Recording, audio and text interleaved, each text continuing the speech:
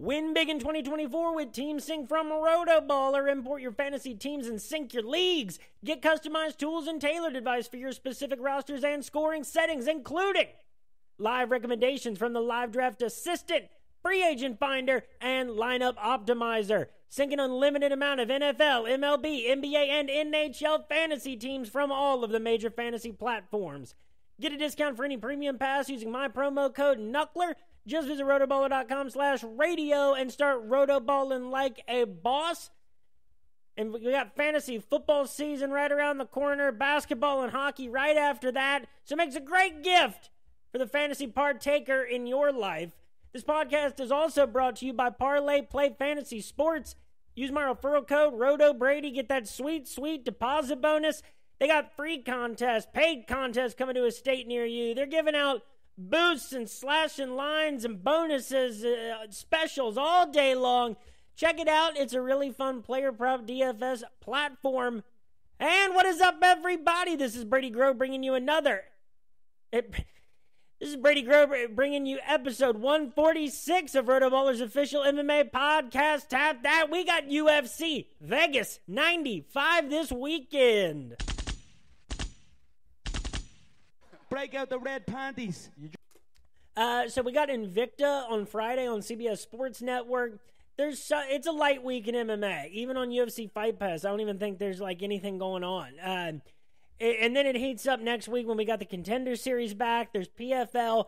So for my picks on all major combat sports events, boxing, MMA, stuff on UFC Fight Pass, regional promotions, follow me on Twitter at Roto Brady. That's where I make picks for all that stuff. Follow the podcast.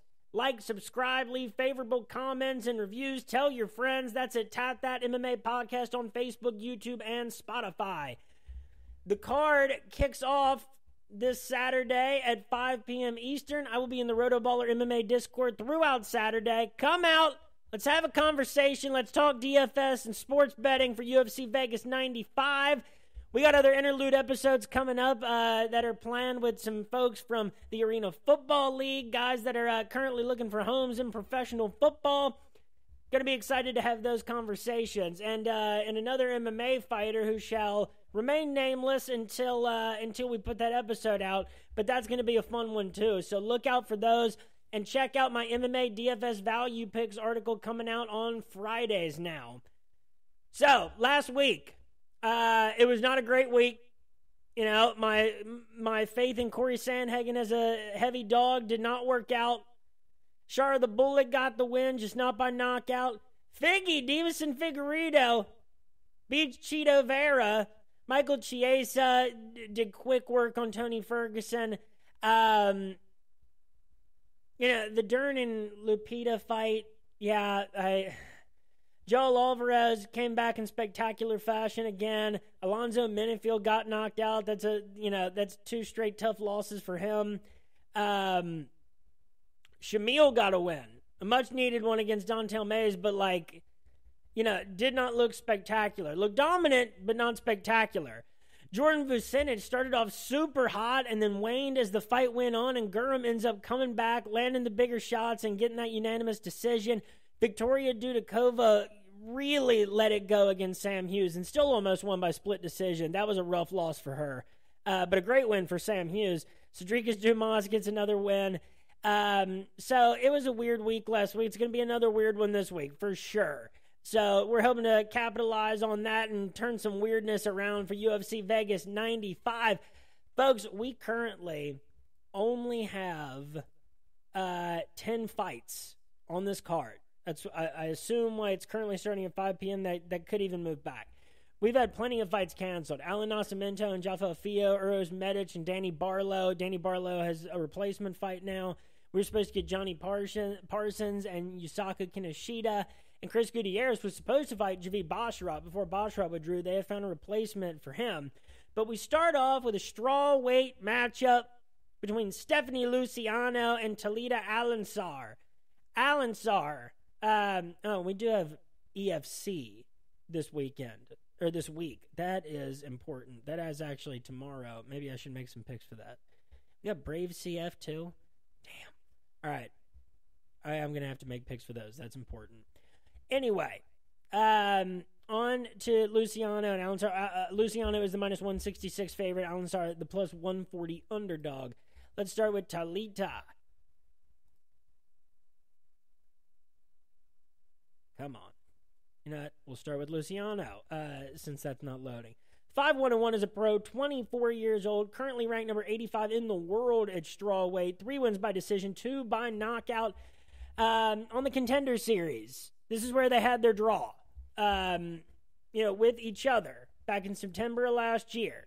They're doing it for real this time on uh, on uh, the UFC Vegas event. So you know that draw, Luciano outstruck her eighty-seven to thirty-five. Alencar got that draw, you know, with four takedowns to one. Uh, it ended up being Good lord, UFC stats is taking a long time to load today. But you know, Luciano's most recent wins before that was November of 2022 in Jungle Fight 112. You know, she had been with Jungle Fight a couple fights in a row. She does have a split decision win over Michelle Oliveira uh, in LFA, which is always meaningful. Um, so it ended up being 28 28 on all three judges' scorecards in that fight. So and what was it? Um, what was it that ended up being a 10 uh, uh, um, okay just looked it up uh, and it was a, a 10-8 round by luciano in the third round when she was losing and, and ended up getting a draw out of it which is impressive um, but you know toledo was the one who won the first two rounds in that one and Toledo since then has beaten Rayanne dos Santos by split decision. She got outstruck 57 to 36 there too, but all she one takedown was was all it took in addition to 36 strikes for Toledo Alencar. You know, that is some that's that's two very very close outcomes for your first two uh, experiences in the UFC. Toledo Alencar, she is, you know, there's been more consistency um, Luciano, you know, it was Alencar that had just a more well-rounded attack in that first fight, and you see like what her methodology is. She doesn't need to even really. She doesn't need to tie you in the striking. She just needs to do, you know, what she does on the ground and keep it close enough and control you. That that has already been the path to a decent amount of success so far, uh, and at least no losing efforts. So here, when Luciano did need a 10 8 round in round three to get that draw, it seems crazy that she's the minus 166 favorite. And it makes sense. She's the one who ended on the better note. Luciana by TKO knockout, that's plus 450. I think that kind of makes sense here if she's making adjustments to, to uh, negate Toledo's game plan. But I don't know. I, I think that Toledo being plus 140, I think that this is still like their first fight was a draw. Eh, by that same margin. You know, you can't depend on a 10 8 round three every time. So it just seems like this fight has to be a coin flip, and Toledo's the one with the, the more experience really at this level. So 50 50 matchup. Give me Toledo plus 140. Hit it. And for Toledo, um, I'm going by decision plus 215. I think that's the best way to go. Luciano, I think, you know, decision Sure, that's plus 120, but by TKO knockout plus 450, I think is, is maybe where you're getting the better value considering how she finished that last fight, her, their last fight. Next up, we got a featherweight matchup between Youssef Zalal and Jarno Errens. Errens, the plus 350 underdog, Zalal, the minus 455 favorite. Let's start off with Jarno Errens. I was not a big fan of him after those first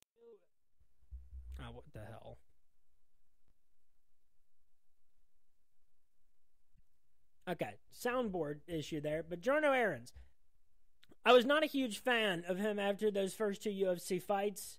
Uh, lost by unanimous decision, granted to William Gomi and Seungwoo Choi. Not not a bad slew of guys, and he got a knockdown against Seungwoo Choi. Uh, he wasn't, com- you know, he, he did get outclassed by William Gomi, but he was not completely defenseless against Seungwoo Choi. And then next, March of this year, he comes back with a unanimous decision win, a really good one against Stephen Nguyen uh, outstriking him 105 to 63. He did get taken down once, but he got a knockdown. That's two knockdowns in his last two fights, and only one went. Uh, so Jarno, things have been looking up for the Frenchman born in 1994. Uh, that was a nice fight his last time out and caught a lot of people by surprise. Youssef Zalal, right? He had not won in the UFC since August of 2020. He had three straight wins in the UFC, starting off his UFC tenure, all in 2020. Then he lost three in a row to Ilia Topuria. Understandable.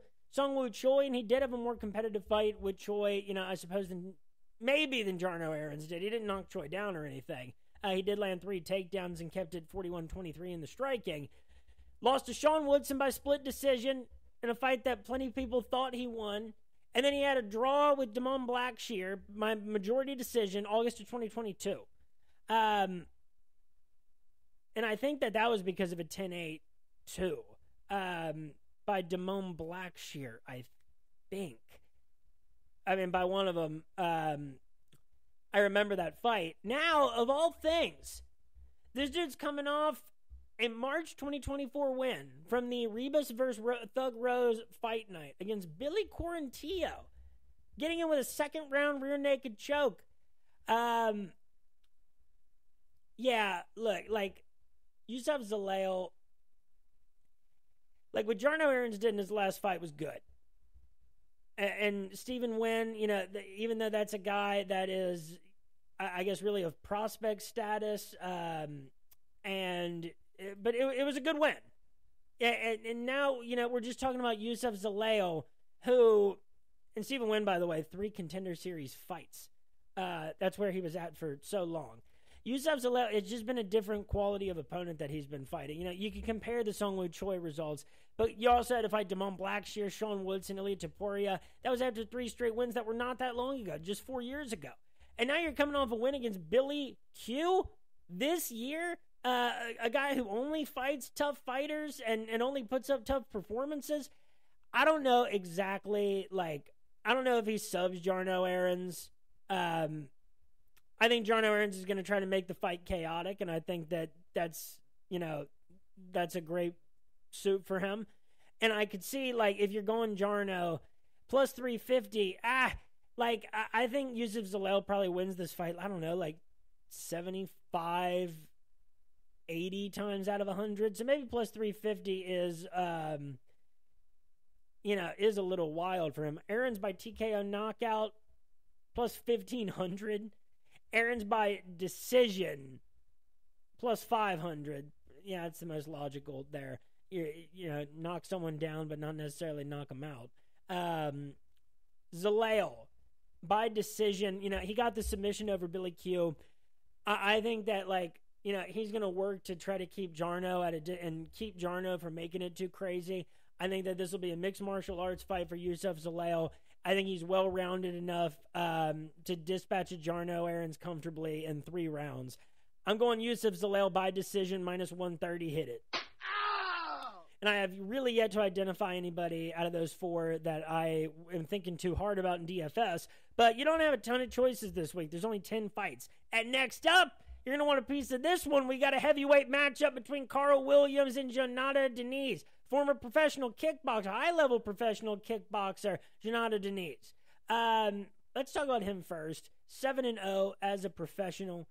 He is the plus 180 underdog. Williams is the minus 218 favorite. Diniz is 33 years old. All seven professional wins by knockout.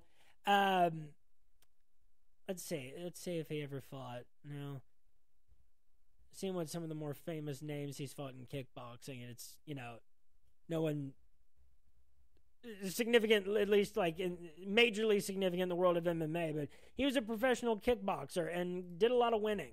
Um, and it translates to MMA. You know, he's only been finishing people by knockout. That includes a contender series knockout of Eduardo Neves and a um, a win in April of this year, April 27th, over Austin Lane at UFC Fight Night.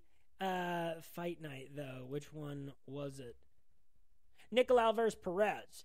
Um, a first round knockout, a second round knockout. He's only had to land 45 strikes, and he has landed three knockdowns in that stretch of two fights. Born in 1991 with a 79 inch reach. Born in 1990 with a 79 inch reach is the favorite, Carl Williams who, by contrast, has won all four of his UFC fights by unanimous decision, a combined 19 takedowns across four fights. He's only ever ever had to land 70 strikes.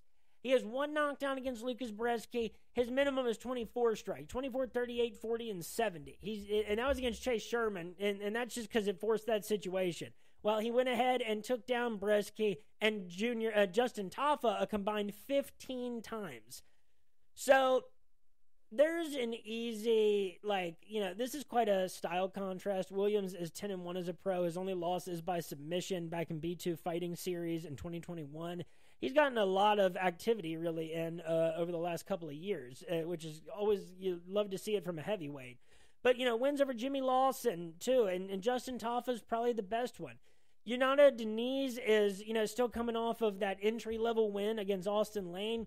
Look, I can probably make a really good case to use either of these guys in DFS. All right.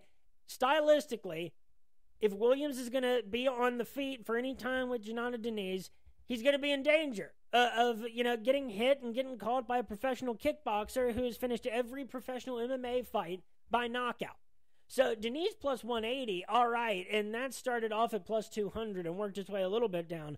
Diniz by TKO knockout, that's plus 300. Hit that all day. That's at least maybe not hit it all day, but that's the best value value that there is for Diniz. That's how you go. And if you're going Carl Williams, um, it because I do think Carl Williams more battle tested in the UFC. If it's kickboxing versus a guy that is just really good at getting people down and holding them there and, and you know landing his strikes from the ground, then I give that the edge because it's way harder to neutralize that because the way you neutralize someone's kickboxing, if you're a really good wrestler and you're good at doing that, is taking them down.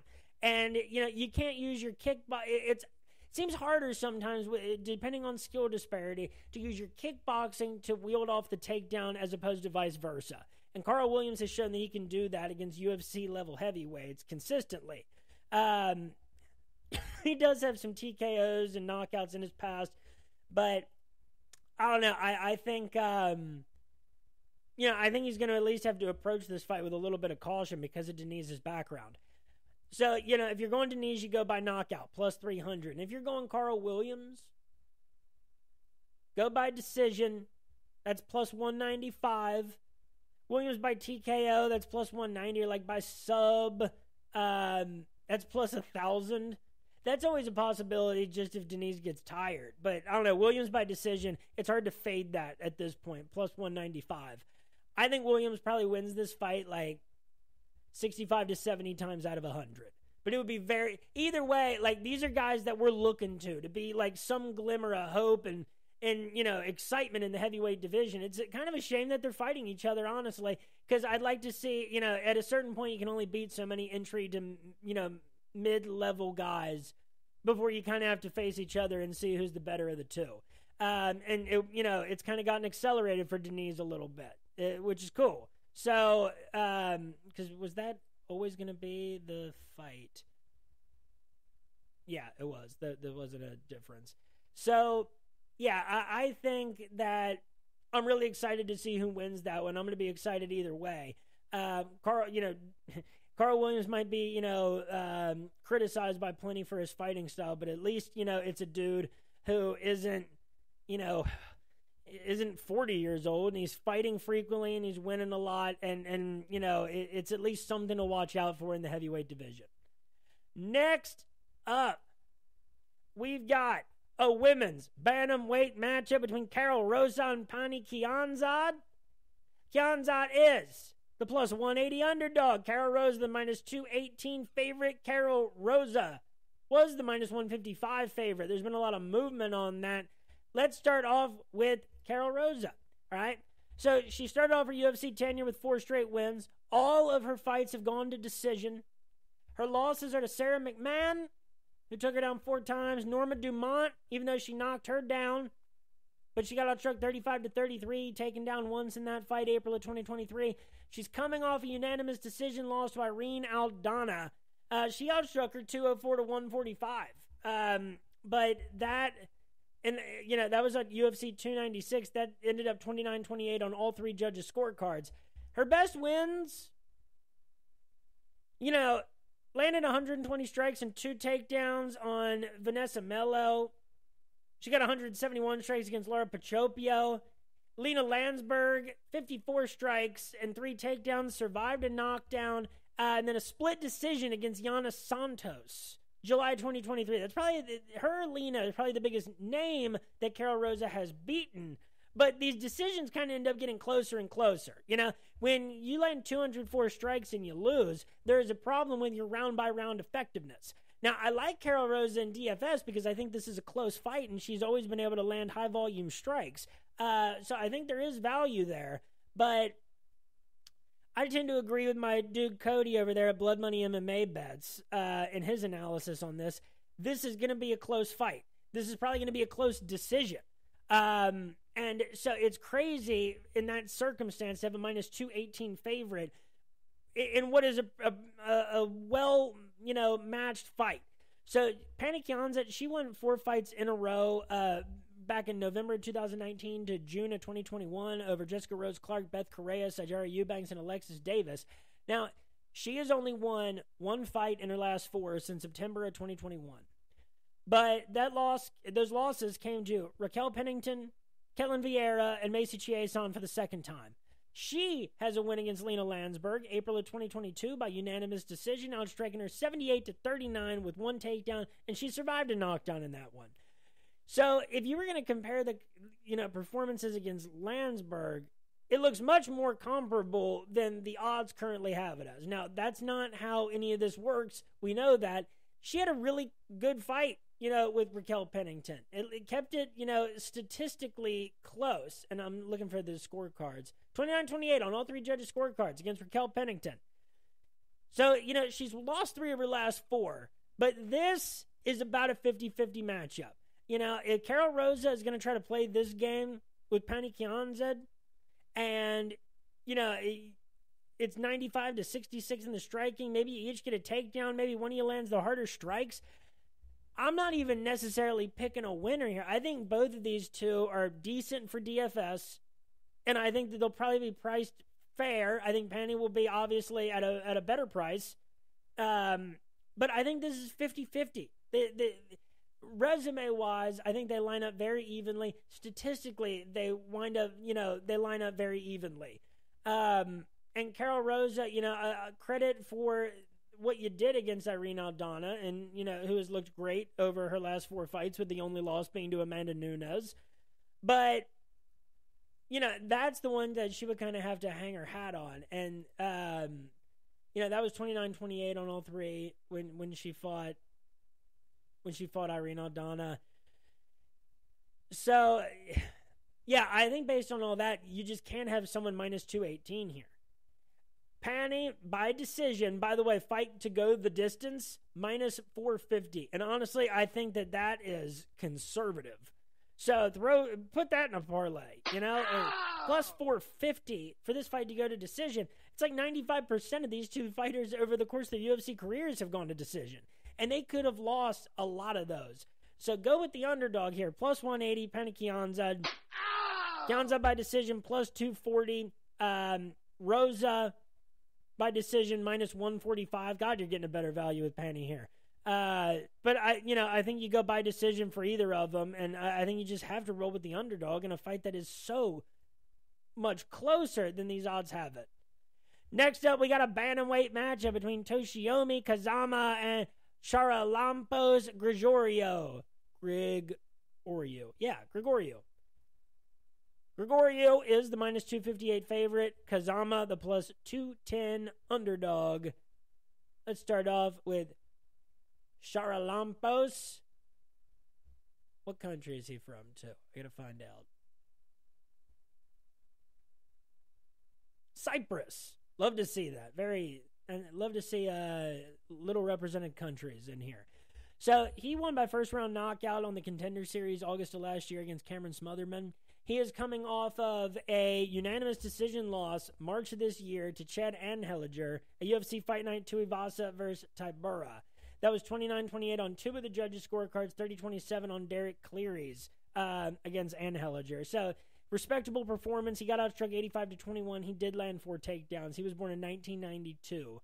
Uh, Kazama, 69 inch reach, will have a 2 inch reach advantage. He was born in 1997. Professionally, he is 10 and 4, one on road to UFC.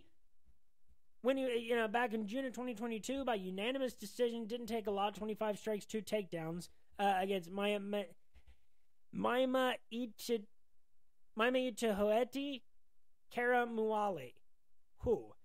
Now he is coming off two straight losses. This is a problem. Against Rinya Nakamura by first round knockout February of last year. Uh, now Rinya, he's three and zero at the UFC level, counting the Kazama win, but still he's beaten Fernie Garcia and Carlos Vera since then. Uh, and then he got knocked out in the first round by Garrett Armfield, August of last year. Garrett Armfield, very respectable fighter for sure. Um,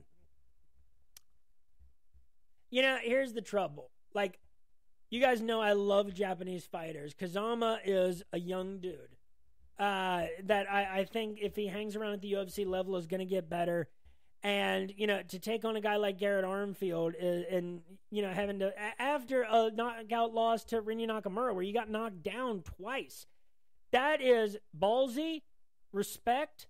Um, and I think that this guy, you know, still has upward trajectory. But when your only win coming into this fight is your, you know, road to UFC win against a dude who's 26 and 11 as a professional, nicknamed the Keurig Mountain Eagle, which is pretty sick. That just gives me way too much pause uh, when your only win coming into this is road to UFC. This started off at minus 218 for Charlampos and has worked its way up to minus 258. I think you got to go with the guy that put up a respectable scorecard against Chan Elhedger, Anheliger, who's now pretty much three and two in the UFC, counting the contender series, um, with a win over Jesse Strader.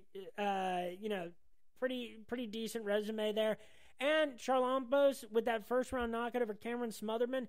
Toshiomi is not going to want to come incorrect here. Uh, because you will end up getting finished the same way that you did against Garrett Armfield and Rinya Nakamura. I am rooting for you, Toshiyama Kazama. I am. But when your last win is road to UFC two years ago. Don't do this. You cannot do this, you know? I hope you win, but Grigoriou, minus 258. I think he wins this fight probably 80 to 85 times out of 100. Maybe a hard 80. I think the number is appropriate.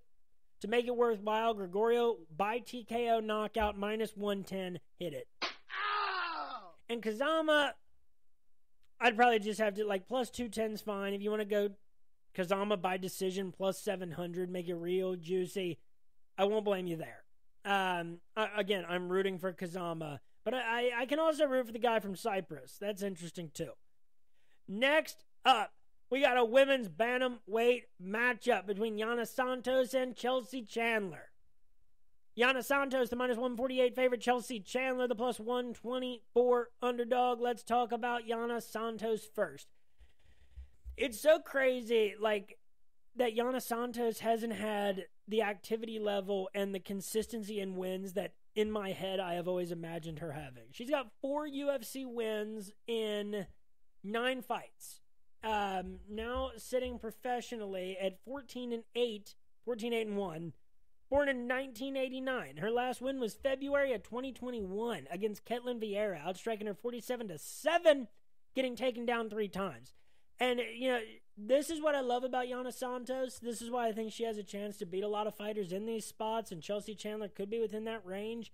Is she just does this thing where the way that she fights, whether she takes you down or not, it just completely shuts down your offense. It's not like Julia Stoliarenko has a ton of that in the striking department to begin with, but when you win two fights in a row by unanimous decision with only one takedown, a combined 91 strikes, and you only allow a combined 13 strikes from your opponent, that's crazy. Uh, she got knocked out by Aspen Ladd.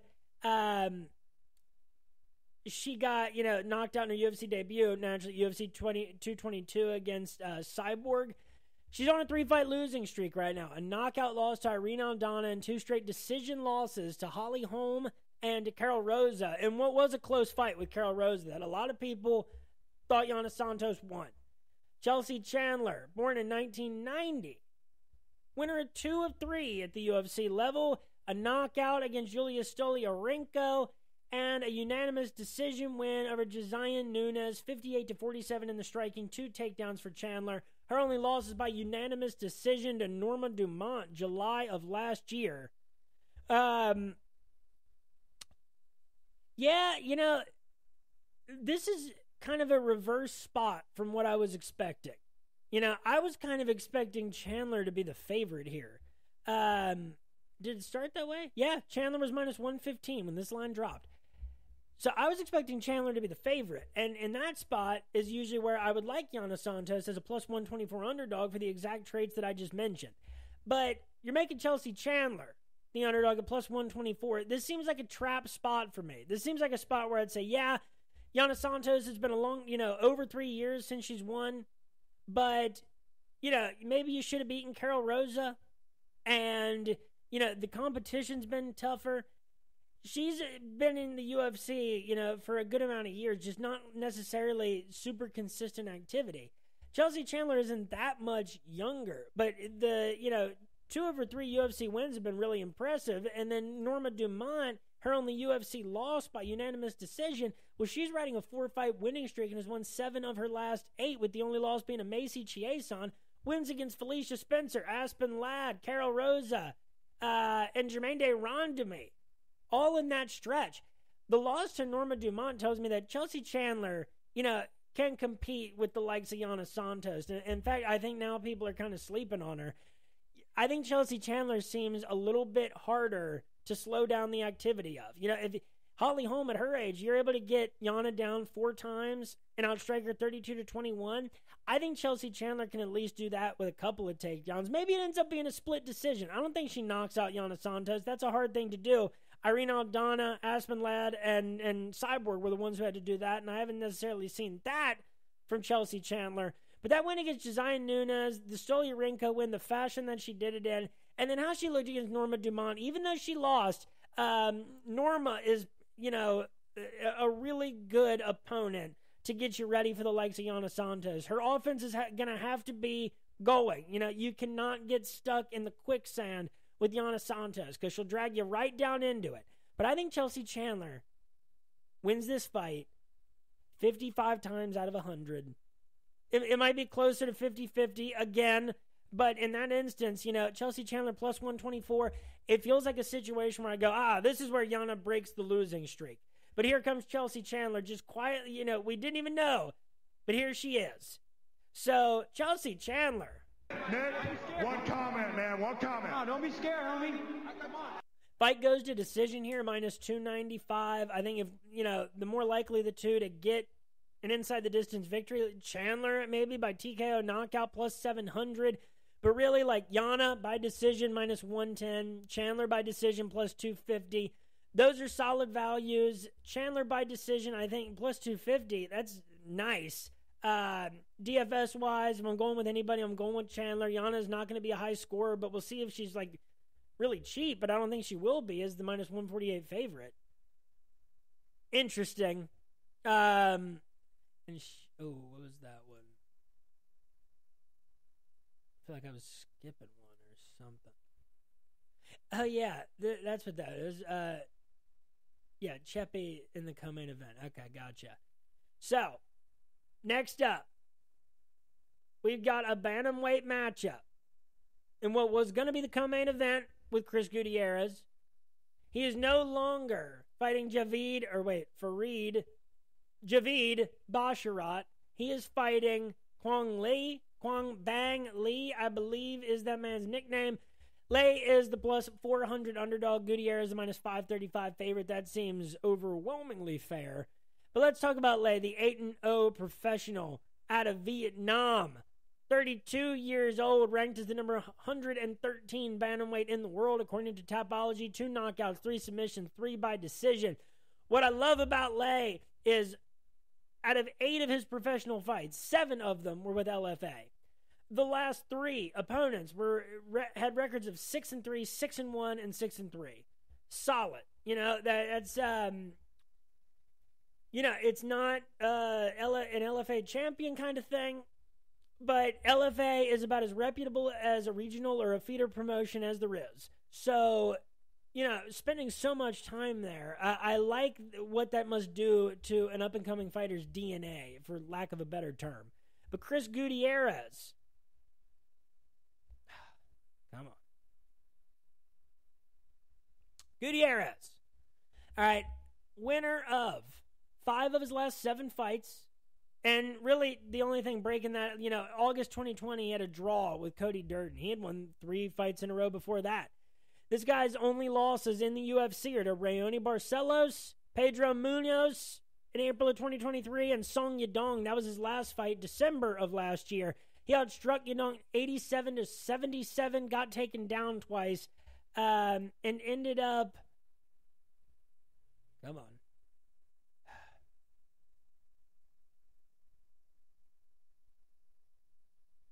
Come on. Ended up losing the fight 50 to 45 and, and even 50 to 44 on, on one of the judges' scorecards. Uh, it's just crazy when you look at the statistics of that. Uh, but, you know, you, uh, the volume of Gutierrez, it was just not the same as the, the power that Song Yadong was packing with each of his strikes. Gutierrez's wins in that time. Two decisions over Andre Ewell and Felipe, former tap that guest, Andre Ewell. Felipe Colares, Danaa Batgerel with a second round knockout, knocked out Frankie Edgar, and then a unanimous decision win where he landed 110 strikes against Alatang, uh, Ali. There we go. So, you know, here's the thing it's a different level here. You know, Le, I am going to be very excited to watch him fight. Uh, this is a great opportunity for him, especially at 32 undefeated as a pro, cool nickname, coming out of Vietnam. He's a big underdog. That is not enough for me to like him here uh, against El Guapo. Coming in as a late replacement, Gutierrez, you know, as long as he keeps his head and treats this like the fight that he was going to have in the first place, this guy's done very little losing over the last five years in the UFC. It, with some great names that he's gotten wins over, and you've had to be a really, really good bantamweight over the last five years to get a win over Chris Gutierrez. Um, you know, most of these wins are by decision. I think that it's possible that, like, yeah, you could go psychological with this and try to figure out, like, well, what is, you know, is Gutierrez going to take it a little bit easier because he doesn't know the guy as well? And, you know, this ends up being a decision. Or, you know, is this guy just a little bit too green to face a guy as tough as Chris Gutierrez and it ends up being a knockout? those prop odds are not out yet on best fight odds. I think that the value of them is kind of split because you're just kind of talking about psychological stuff there, and it could go either way. Gutierrez minus 535, like, I don't think that that's necessarily worth. Like, I don't think there's a ton super worth betting in this fight. Uh, other than like Gutierrez by decision or Gutierrez by knockout, if it's a good enough number, I think Gutierrez is a really obvious you know, one, one of the main guys that you're going to be looking at if he's, uh, you know, going to be pretty expensive to work into your lineup on Saturday. Again, Quang Le, bang, Kwong Bang Lee. I'm going to be rooting for you on Saturday. However, don't do this. You cannot do this. You know.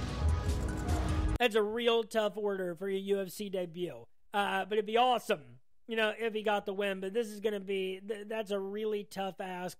Gutierrez was, you know, going to be ready to fight in a big spot this weekend.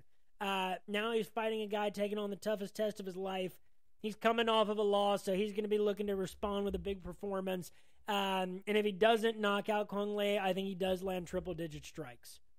Next up, we got a welterweight matchup between Nikolai Veretennikov,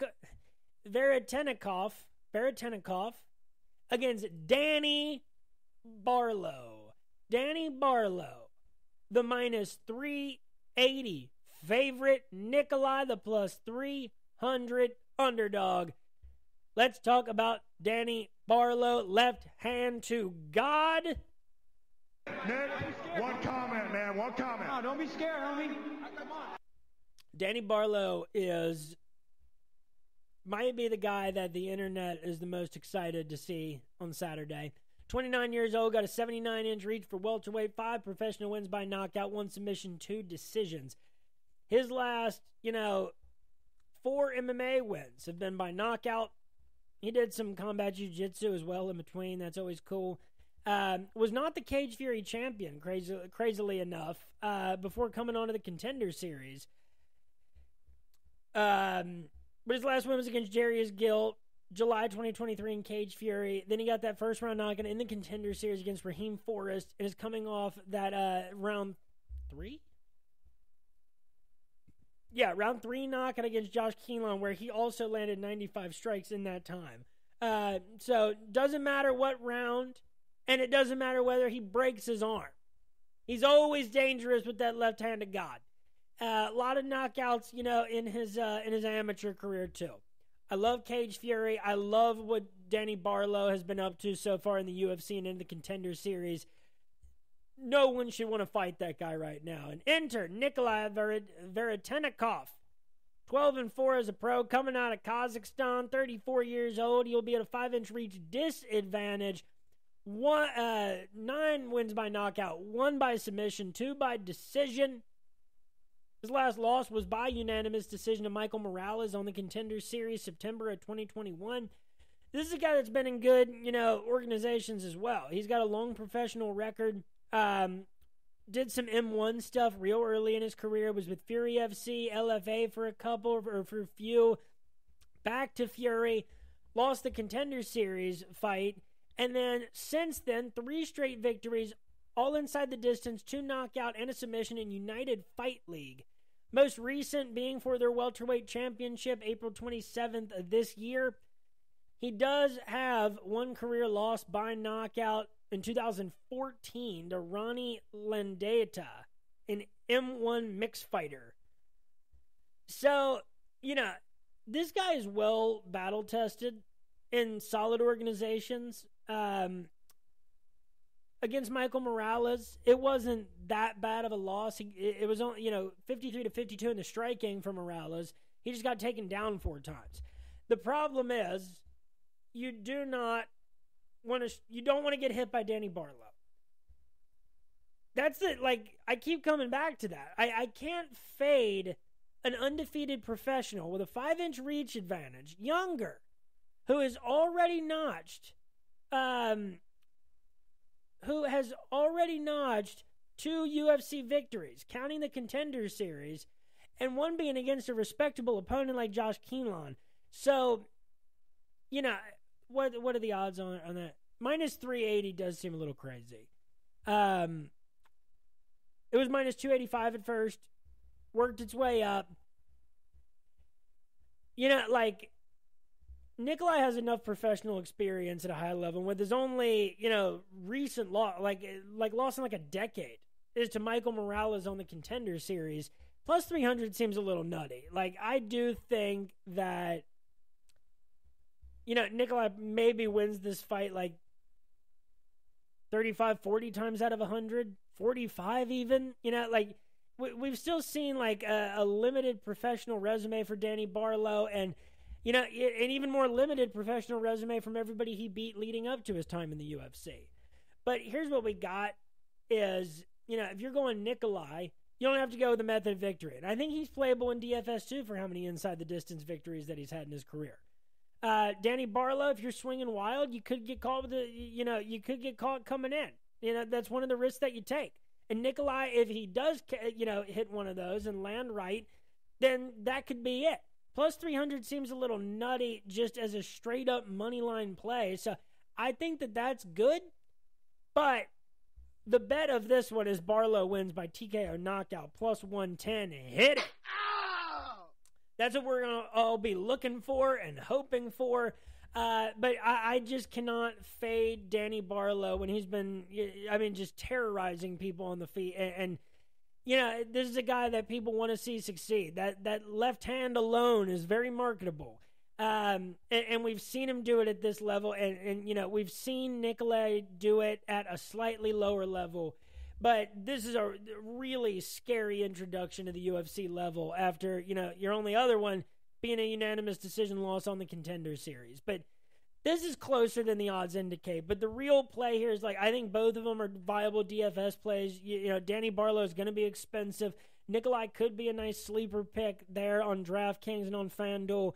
But the real thing is like the prop you got to go with is Danny Barlow plus 110 to win by knockout. If you're not feeling a method of victory, you know, uh, I, I don't think you throw Danny Barlow in a parlay. I think maybe you sprinkle a little bit on Nikolai on the money line just because, you know, Fury, LFA, only lost being on the contender series in a decade. I will give this guy credit. He is not a can. And Danny Barlow is far from being a well established dude. So that's a lot to talk about that one, but there's a lot to say about that one. And we are on to the co main event of the evening. It is a featherweight matchup between Chepe Mariscal and Damon Jackson. And was this a. No. I thought that I'd seen some movement. I thought maybe that had been rearranged, but that's just a lot of what happened on this card anyway. To end up with 10 fights that people are like, what the hell? But uh, I'm not impressed by your performance, and I look forward to. Because we'll naturally get to the main event in a minute. But Chepe, minus 210. The favorite, Damon Jackson, the plus 175 underdog. Let's start off with Damon Jackson. UFC stats. Hasn't done this to me in a while, but here we go. Gonna keep me from not uh from going hitting under the hour mark, and so are things like that that I'm trying to spit out. Damon Jackson, winner of five of his last seven fights in the UFC. Who's this guy lost to in the UFC? And at least recently, he's got three losses since December of 2020. Ilia Topuria, Dan Ige, Billy Quarantillo made it exciting. You know, I, I think against uh, Billy Q, he got knocked out by Dan Ige and Ilia. Um, but you know, he got outstruck 100 to 67 against Billy Q. He did get three takedowns. You know, so it ended up being competitive. Damon Jackson, you know, beat Charles Rosa in that time. Kamuela Kirk, Dan Argueta, Pat Sabatini. Very consistent level of competition that he was taking on. It was only, you know, this last fight, April of 2024, that the name value of his wins went up in beating Alexander Hernandez by split decision, on striking him 42 to 32. Three takedowns. He did get knocked down once and survived it against the uh, the physically imposing Alexander the Great. Chepe.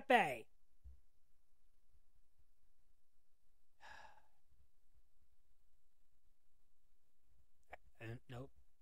Come on.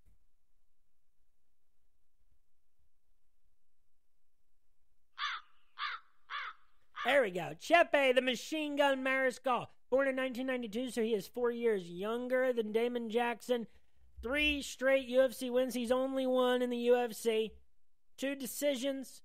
One against Trevor Peek in his UFC debut January of last year, outstriking him 71 to 51 with four takedowns. Gave, gave the junkyard dog Trevor Peek the business in that fight. A second round knockout against Jack Jenkins September 2023 and then surprised a lot of people with a split decision victory over Morgan Charriere April of this year at Fight Night Allen vs. Curtis 2, outstriking him 71 to 49, two takedowns to one for Morgan.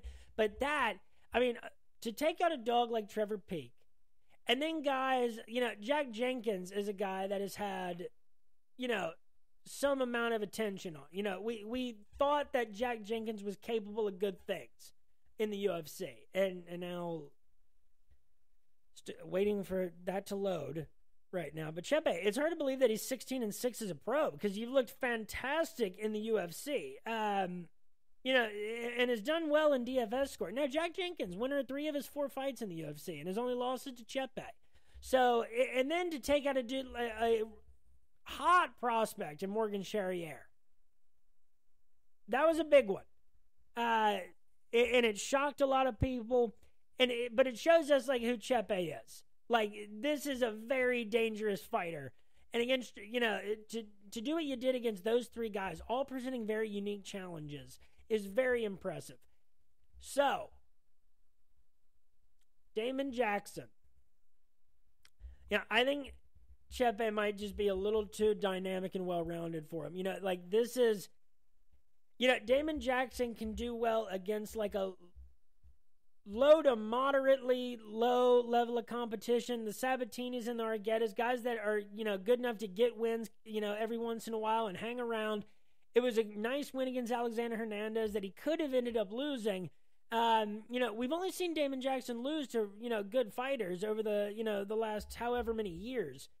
But this is one where I'm going to have to go against that, um, you know, what my usual sentiment might be there as far as, you know, octagon experience and the quality of the opponents that you've fought and that you've lost to.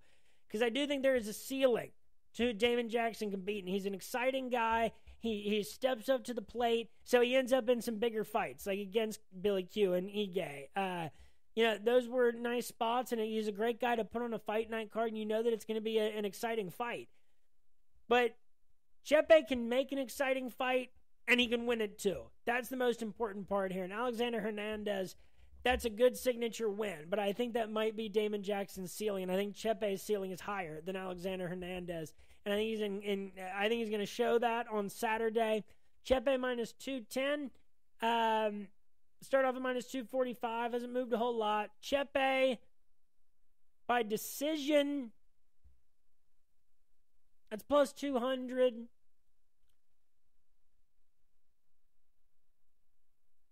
Chepe by knockout is plus 250 or plus 205. So maybe I, I I think those are about split pretty even. You know, I think Chepe can knock out Damon Jackson in a bloody, you know, fight. I think he can do it in any round. I, I think maybe, you know, it, it might take a little bit more damage to accumulate. Um, but Chepe by TKO knockout plus 205.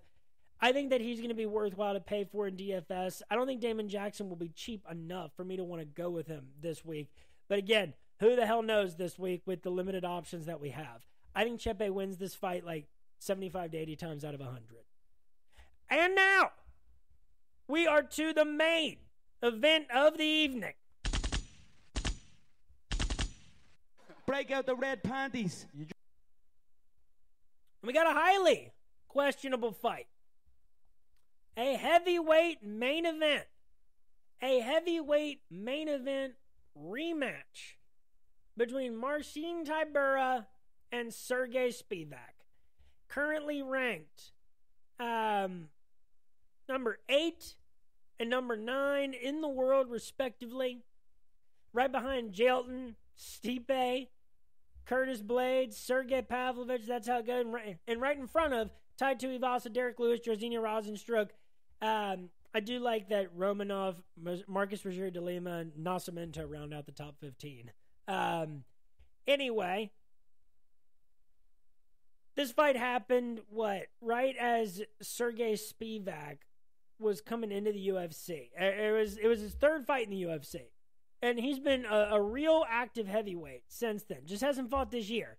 But Sergey Spivak is the minus 162 favorite. Tybura the plus 136 underdog. And again, that's where we're at in the heavyweight division. Is that this rematch is happening as the main event of a UFC fight card, which is fine. I don't uh, you know, I do not really complain about quality of cards with quotations or whatever the main event is. I'm here for UFC level fights just like I am for PFL and Bellator and One and Rizin and LFA and all that other stuff, um, you know, any given week. But, you know, this rematch, it's like, can you really, like, we can't move the division along anywhere. Number eight, number nine, this might just flip their number. So it not only does it feel like repetitive and like it's not what people necessarily wanted for either of these two, it feels kind of inconsequential. It just feels important for Sergey Spivak, you know, because Marcin Tybura has, you know, we've seen his ceiling. And, you know, being the older guy born in 1985, going to be turning 40 next year, that guy's not going to be competing for a championship especially with the the pace at which this heavyweight division is moving along. But Sergey Spivak, who knows? Still born in 1995. Um, you know, since coming into the UFC in 2019, that is one, two, four, seven, eight, nine, ten, eleven fights, and it's it, it like ramped up quickly. You know, so Spivak lost two of his first three in the UFC to Walt Harris and Marcin Tybura. Both guys that ended up, you know, in the ranking picture at different times. And he had a win over Tai Tuivasa by second round arm triangle in between that. That's back, you know, five years ago. Now he has won six of his last eight fights over Carlos Felipe, Jared Vanderaa, Alexei Oleinik. Now it gets more impressive. Greg Hardy, a first round knockout, a second round knockout over Augusto Sakai, and a first round arm triangle that you'll remember you heard on this very show the prediction that Sergey Spivak would beat Derrick Lewis by arm triangle after six Raggedy Ann doll takedowns that he that he threw on him in the first round. Sergey Spivak's four losses in the UFC: Harris, Tybura, and then the last two, the ones that have happened in the last three years, Tom Aspinall and Cyril Gane. Now he got dominated by Cyril Gane, outstruck 109 to 11, zero takedowns, finished in the second round. But you, you have to admit, whatever you think about the polar bear, all right, he's only lost to guys that have either been ranked or have been interim champions from the beginning. And, and you know, back five years ago, um, it was 2019, he was what, 24? So, and, taking on Walt Harris and Marcin Tybura. And the name, you know, beating Lewis and Sakai and Hardy and Oleinik and Tai Tuivasa. You know, his skill set is proven too much for those guys that are a little bit more one dimensional and need to hit you with something big. You know, that's a uh, that is a hard prescription against Sergey Spivak, where he has versatile MMA skills. He's a big dude with a big head and big shoulders, and you know he's if, he's able to throw you around, he can do some slick stuff. He's always looking for the finish, really, and that's something that people like about him. Um, and he's come up with a lot of impressive wins. Tybura. This guy's been in the UFC since April of 2016. Has fought a ton of people. I mean, it, let's say I'll sit here and, and count how many fights he's had in the UFC. One, two, three, four, five, six, seven, eight, nine, 10, 11, 12, 13, 14, 15, 16, 17, 18, 19 fights in the UFC. Wins over Andrei Arlovsky, Stefan Struve, Spivak, Maxim Grishin, sure. Ben Rothwell, Greg Hardy, Walt Harris, Alexander Romanov, Blagoy Ivanov, and Tai Tuivasa. Losses in his career to Fabricio Werdum, Timothy Johnson, Shamil Abdurakhimov, Augusto Sakai, interestingly enough, Alexander Volkov, and Tom Aspinall. Uh, I mean, naturally, there's a lot of similarity in these two guys' resumes. There's only, you know, so much variation that there can be in heavyweight when we got guys that have been fighting in the UFC since the year 2000 that are still around. Um, but he's the winner of three of his last four fights. That dates back to August of 2022. Two decision wins over Alexander Romanov and Blagoy Ivanov, outstriking them 47 to 40 and 40 to 34. He got taken down twice by Romanov, still ended up with the majority decision. Uh, and the scoring for that one, what, 29 28? There was one draw on that card where I think Romanov got a 10 8 in the first round, but it, it, on one judge's scorecard. So that's why it was a majority decision. Tybura is just, you know, skill set. He doesn't need to land more than 40 strikes. He can land, you know, upwards of 50, 70, 90 strikes in a fight if that's what you force out of him but he's not going to force anything that he doesn't have to do. You know, the fight can kind of come to Marcin. He's well rounded enough. He's patient. Um, he got a rear naked choke the last time out against Tai Tuivasa. I don't like the odds of that happening again ever for him. But I don't know. I mean, that's a tough one to call. Like, normally on the underdog side, I would usually say, like, yeah, Marcin Tybura can absolutely win this fight. Um, he's beaten him before, sure. And Marcin Tybura is just the kind of guy that, up to a certain level, can you know beat anybody and eke out close decisions, keeping it keeping it close, slowing the pace down, getting a takedown if you need to, but limiting the opponent's takedowns too. You know, he doesn't get taken down a whole lot. Um, so, but Marcin Tybura almost being 40 years old, I mean, I will give it, but two of those last three wins, Tai Tuivasa and Blagoy Ivanov. I am a little bit more impressed with what Sergey Spivak has been up to since March of 2022. Uh, surviving onslaughts from people that were going to try to put him to sleep. That's not what Tybura is going to be doing. But Sergey Spivak has moved past the point where he's losing to the Walt Harrises and the Tyburas. He's at the point now where the guys that he can't beat are the Aspinalls and the Ganes. You know, so we've seen Sergey Spivak, I think, grow tremendously since he's been in the UFC. I think that his skills are just going to be that much more explosive.